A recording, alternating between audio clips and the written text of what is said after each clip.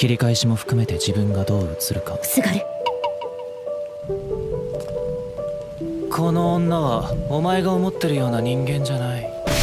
諦めて流されろや！怖く。キモく。